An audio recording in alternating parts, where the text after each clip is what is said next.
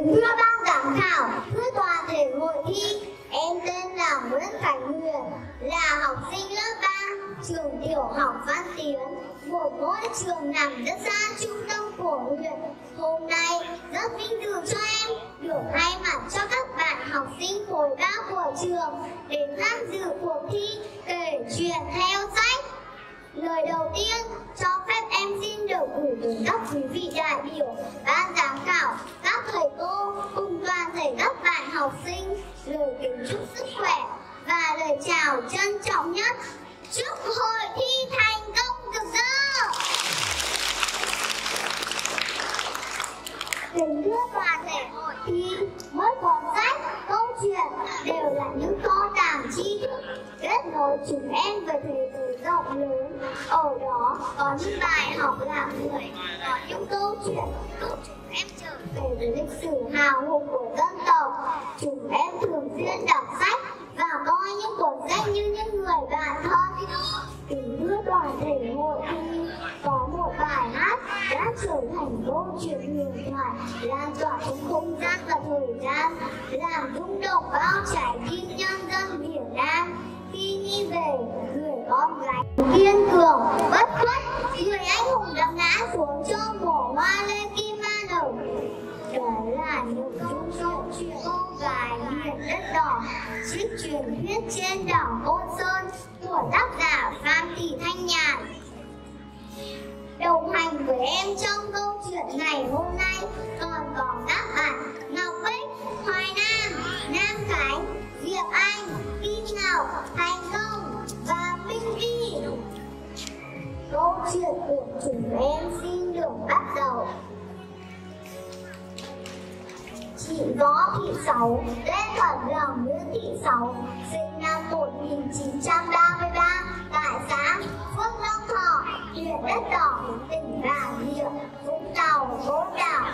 Chị sinh ra trong một gia đình nghèo, lớn lên trong cảnh đất nước ngập than chỉ mắt chị hiếu bọn giặc Pháp và bọn Việt Nam hà hiếp, giết chóc đồng bào, tàn phá quê hương mình. Vì vậy, chị sớm đã có lòng yêu nước, các thù giặc. 12 tuổi, chị được anh trai giác ngộ theo anh trốn lên chiến khu giúp cách mạng. Qua nhiều lần thử thách, chị được phép đảm vào đội công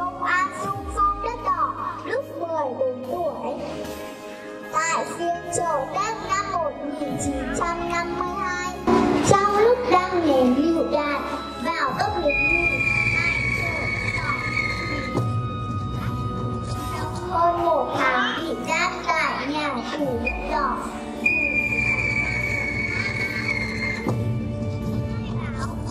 định phải chuyển chị về khám chí hòa. Trong hai năm bị giam ở khám chí hòa, ngày 21 tháng 1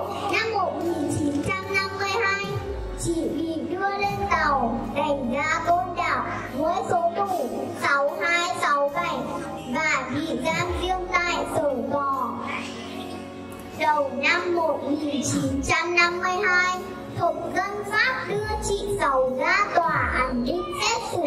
Phiên tòa không có luật sư, cũng không có nhân chứng, chỉ có sự hiện diện của hai tên tay sai.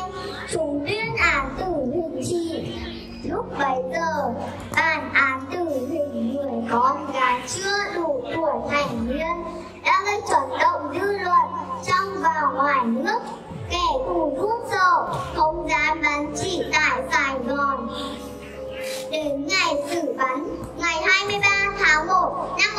1952, chúng mở cửa xà lim. Chị cháu đã sẵn sàng trong bộ quần áo gà ba màu trắng. Bọn lính Vinh Đô Kỳ vì ngạc nhiên dù kính phục khi có một người con nói chưa đủ tuổi thành niên đã bị bắn ở ngoài đảo khơi xa. Việc này chúng sợ rằng nếu bắn chị Sáu ở trong đất liền sẽ gây nhiều ảnh hưởng xấu. Trong khi tên lính lên dương hỏi chị Sáu, con khai gì nữa không? Chị Sáu trả lời, không, tôi không có gì mà khai. Tên lính Lê Dương rót rượu mời chị Sáu Một lát nữa cô sẽ bị xử bắn Cô uống đi một cốc Hơi rượu sẽ làm cô thêm can đảm Chị Sáu mỉm cười trả lời các rượu để có thêm can đảm. Xin mời cứ tự nhiên.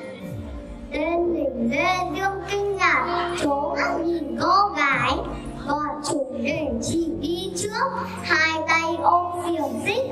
Tên lính ôm súng đi kèm Trước giờ hành hình, Viên cha đạo đề nghị.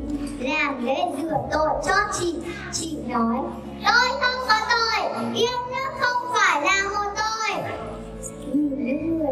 phòng đã cho chị Chị dừng lại và hỏi họ Chuyện của tôi đấy ư những người đào huyền nghẹn ngào không dám trả lời Chị vuốt bông hoa cải trên mái tóc Và đưa cho mấy người đứng tủ Tặng mấy anh bông hoa này Rất cảm ơn đã đào huyền cho tôi Ngày hôm nay các đào một cái hố nhỏ.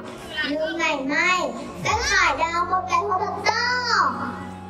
Những người lính tù ngơ ngác nhìn nhau Chị Sáu mỉm cười nhìn về phía bọn lính Pháp và nói Một cái hố thật to để cho những kẻ đàn tôi hôm nay Và chỉ đến với cái chết bằng lời ca, tiếng hát Với cái nhìn hiên ngang, bất khuất trước họng của một kẻ thù khi ra pháp trường, chị Quyên quyết không quỳ xuống, yêu cầu không bị mắt.